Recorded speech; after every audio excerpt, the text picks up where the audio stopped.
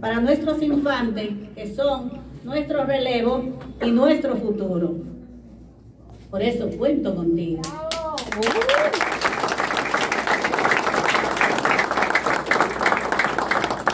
Antes de seguir con mi discurso, quiero eh, darle la bienvenida a todos los precandidatos a regidores que estén presentes aquí esta tarde. Así, un aplauso para ellos. Nuestro porvenir depende de más oportunidades para los jóvenes, lo que implica más educación. Legislaré por más becas universitarias, espacios laborales, formación técnico-profesional y participación en diferentes espacios. Pero para ello cuento con ustedes. Quiero volver al Congreso de la República Dominicana para impulsar las iniciativas necesarias para hacer de San Cristóbal un lugar turístico que le corresponde a la costa del Mar Caribe.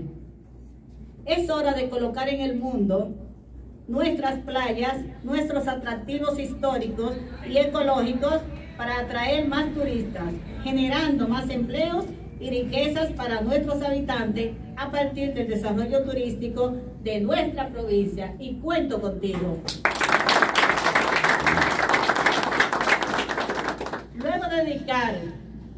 Vida a su familia y a su pueblo, nuestros adultos mayores necesitan tener una vida digna y plena.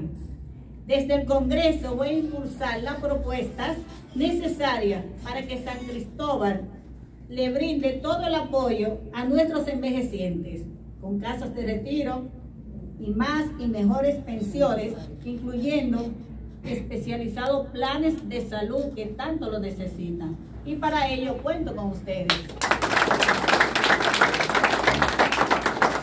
Desde la Cámara de y con la gracia de Dios y el apoyo del pueblo san cristobalense, impulsaré y apoyaré todas las iniciativas que busquen mejorar las condiciones climáticas de nuestro pueblo.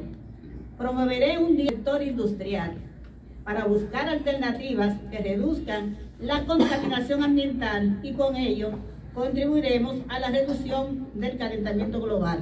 Y para nadie es un secreto que el mundo está sufriendo enormemente el cambio climático. La temperatura en época de verano sufre muy alto, sufren muchísimo los, ciudadanos y a nivel, a nivel mundial nosotros vemos cómo hay muerte por temperaturas muy altas. Nosotros, porque tenemos un clima caliente todo el año y sin embargo